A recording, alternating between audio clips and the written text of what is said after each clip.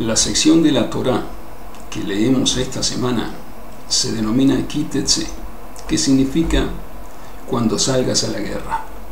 Y en la misma se habla del momento en que se sale a la guerra, concretamente. Aunque los sabios explicaron que también se refiere a la guerra interna contra el mal instinto que tenemos, que nos quiere llevar por el mal camino, a las malas inclinaciones. Y debemos vencer a las malas inclinaciones, a pegarnos al bien, no al mal. Tenemos un instinto que nos quiere llevar por el lado bueno y otro instinto que nos quiere llevar por el lado malo. Debemos elegir el lado bueno siempre. Y esa guerra debemos librarla constantemente. En esta sección se mencionan numerosos sucesos vinculados con este tema, el modo de comunicarse con las demás personas de la sociedad y cómo hacerlo. Uno de los ejemplos es el de los hallazgos. Una persona encuentra algo perdido en el camino, por ejemplo una moneda. Si hay una moneda en la calle, uno la puede alzar y llevársela. Si encuentra una prenda de vestir, no tiene ningún tipo de señal, uno puede cogerla y llevársela. Hay fábricas que, que producen miles similares. Ahora, ¿qué ocurre si una persona cogió esa prenda y al mismo tiempo otra persona también la vio y cogió esa prenda? Ahora, entre las dos la sujetan. ¿De quién es? Ese caso se presenta en la Mishnah. Hay dos que dicen, yo lo he hallado. Uno dice, yo lo he hallado, el otro también dice, yo lo he hallado. Quiere decir que él ha hallado esta prenda. Están los dos aferrados a esa prenda de vestir. Yo la he hallado y tienen que decidir de quién es. Van al tribunal y el tribunal les pregunta, ¿es tuya? Sí, yo la he hallado. Le pregunta al otro, ¿es tuya? Sí, yo la he hallado. Como no hay manera de decidir, no hay testigos, solo ellos que uno dice yo lo he hallado, el otro dice también yo lo he hallado, les hacen jurar que no tienen menos de la mitad de la prenda. No le podrían hacer jurar por toda la prenda porque no pueden adjudicarse toda la prenda, en este caso tienen que dividirla, le hacen jurar que no tienen menos de la mitad de la prenda. Por eso uno jura que no tiene menos de la mitad de la prenda y el otro jura que no tiene menos de la mitad de la prenda y se dividen.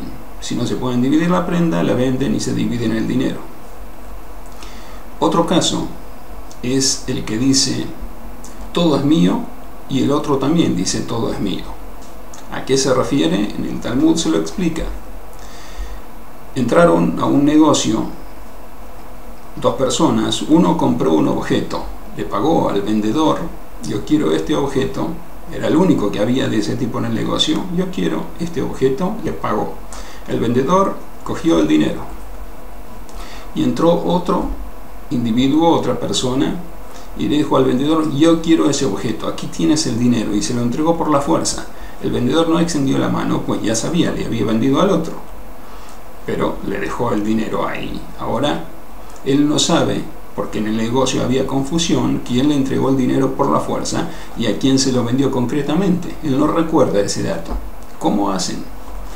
Cada uno de los compradores reclaman, todo es mío, pues el que le dejó el dinero por la fuerza no sabía que el otro lo había comprado antes y el que lo compró, que le dio el dinero como corresponde al vendedor, tampoco sabía que que había ahí un problema, que iba a venir otra persona y iba a entregar el dinero al vendedor por la fuerza. ¿Cómo podían saberlo? Ambos dicen todo es mío. Se resuelve de una manera similar, van al tribunal, el tribunal les hace jurar que no tienen menos de la mitad, uno jura que no tiene menos de la mitad y el otro jura que no tiene menos de la mitad y se dividen el objeto, si no pueden dividírselo, lo venden y se dividen el dinero. Así se resuelven los casos de hallazgos. Sin embargo, para poder adjudicarse un hallazgo y todo este proceso de dividir y saber cuándo se lo pueden llevar, hay muchas condiciones. En el tratado de Baba Metzia se, se mencionan todas estas condiciones. Por ejemplo, si uno encuentra monedas que están esparcidas, una por aquí, otra por allí, no tienen dueño, porque seguramente nadie las dejó ahí. Se cayeron y el dueño no sabe. En el caso en que están todas en un mismo lugar, ya eso sí es una señal Si hay frutas desparramadas, una por aquí, otra por allí, tampoco son frutas que se cayeron de una persona que venía con las compras, tenía en la bolsa un agujero, se cayeron, o de un carro se pueden haber caído. Sin embargo, si estaban todas en el mismo lugar, había un conjunto de frutas, eso es distinto, hay una señal. ¿Y cómo se reconoce? Cuando uno se puede llevar el objeto que encuentra o cuando no. Y eso lo revela nuestra sección. Está escrito aquí en nuestra sección de la Torah en la sección Kitetse, Deuteronomio 22.1. No verás el toro de tu hermano o su oveja que se extraviaron y te desentenderás de ellos. Se los devolverás a tu hermano. Si tu hermano no está junto a ti o no lo conoces, entonces llévalos a tu casa y permanecerán contigo hasta que tu hermano reclame por ellos. Y entonces se los devolverás. Así harás con su asno, así harás con su prenda de vestir, y así harás con cualquier objeto perdido de tu hermano que se le extraviaron a él y que tú encuentras, no podrás desentenderte. Aquí vemos que hay que compenetrarse con los extravíos de nuestro hermano, de otra persona, del pueblo, no desentenderse. Aquí lo indica el versículo manifiestamente. Vemos en primer lugar este punto uno no puede desentenderse de los problemas de nuestro hermano. Si alguien perdió un objeto, hay que devolvérselo. Uno no puede desviar la vista y seguir de largo. Si uno encuentra, por ejemplo, una billetera, un reloj, cualquier objeto de valor, y uno dice, esto seguramente le pertenece a alguien mejor, no me meto en problemas, lo dejo, desvía la vista. No se puede hacer. Está violando un precepto bíblico. Si ve que hay algo, un objeto, que tiene valor, ¿cuál es el valor? El valor de una pruta, o sea, un valor mínimo significativo. Valor mínimo.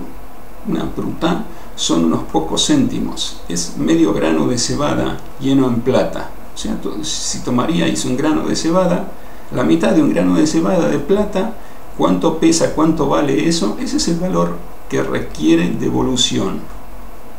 Si esa cifra insignificante es superada, ese objeto debe ser devuelto que uno encuentra.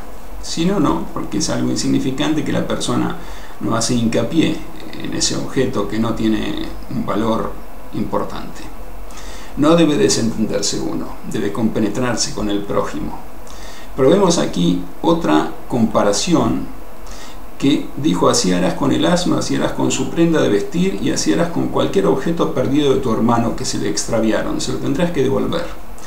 Si decimos así harás con cualquier objeto perdido que se le extravió, también está incluida la prenda de vestir. ¿Y por qué se menciona aquí la prenda de vestir? ¿Cuál es la razón? ¿Por qué salió del conjunto todos los objetos de tu hermano también incluyen la prenda de vestir.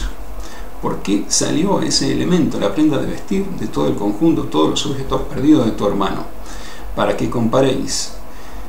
Así como una prenda de vestir es un objeto que tiene dueños y tiene señales, todo objeto que tenga dueño y que tenga señales lo tienes que devolver. Una prenda de vestir si no es una prenda en serie como las que se fabrican ahora, que hay miles que son iguales, una prenda de vestir, que vemos que es algo personal, un diseño personal, tiene dueño y tiene señales, alguien las perdió. Así debemos identificar todos los extravíos. Tiene dueños, tiene señales, o sea, esa, esa clave se aplica a todos los demás extravíos. Para eso prenda de vestir salido del conjunto para que comparéis todos los extravíos a eso, que tiene la prenda de vestir esas características. Tiene dueños y tiene señales. Por lo tanto, cualquier objeto tiene dueño, tiene señales, debes devolverlo. Una moneda no tiene señal, no tiene dueños, porque el dueño renunció. Si es una moneda, a alguien se le cayó una moneda, ¿quién va a pensar en recuperarla? Renuncia inmediatamente si renuncia, uno no está obligado, no tiene la responsabilidad de coger esa moneda para devolvérsela. Uno se la puede llevar. Vemos que en el momento en que nuestro prójimo está preocupado, debemos también nosotros ser considerados con él y devolverle lo que hemos hallado. Cuando se despreocupa, en ese momento nosotros estamos liberados. Lo que encontramos nos lo podemos llevar, como una moneda.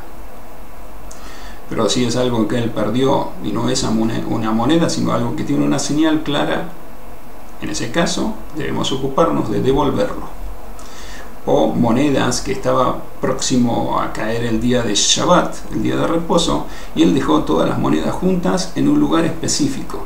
Las dejó ocultas, las guardó y uno dio con ese lugar, encontró las monedas. Se ve que ahí que esas monedas están colocadas de una manera especial, alguien las ocultó ahí por una razón, por eso tiene que devolverlas y cuando él, cuando la persona le diga el lugar donde las dejó y la cantidad de monedas, uno se las devuelve. Tiene que, decirle dónde estaban, darle señales, si no uno no puede devolverle a cualquier persona, le va a devolver a, la persona equivocada lo que no es de él, uno debe encontrar al dueño verdadero.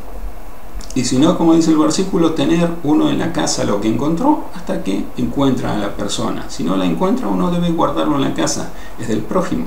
Y si el prójimo no renunció, va a creer en nosotros. Ese es un principio esencial que debemos considerar. Ocuparnos de lo que es de nuestro prójimo, compenetrarnos con su sentimiento. Es algo importante que debemos saber, no desentendernos jamás de las pertenencias de nuestro prójimo. Esa es una enseñanza importante que nos deja la sesión de la semana para que la pongamos en práctica y cada uno se compenetre con el sufrimiento, la aflicción, la preocupación de sus hermanos, todos los miembros del pueblo, y se ocupe de devolver sus extravíos, de ayudarlo a resolver sus problemas. Es una de las tantas mitzvot, preceptos que nos enseña la Torah acerca de la hermandad. No debemos ser hermanos solo exteriormente, sino también interiormente. Preocuparnos por los demás y hacer que su aflicción desaparezca, quitarles su aflicción, su preocupación a través de nuestras buenas acciones.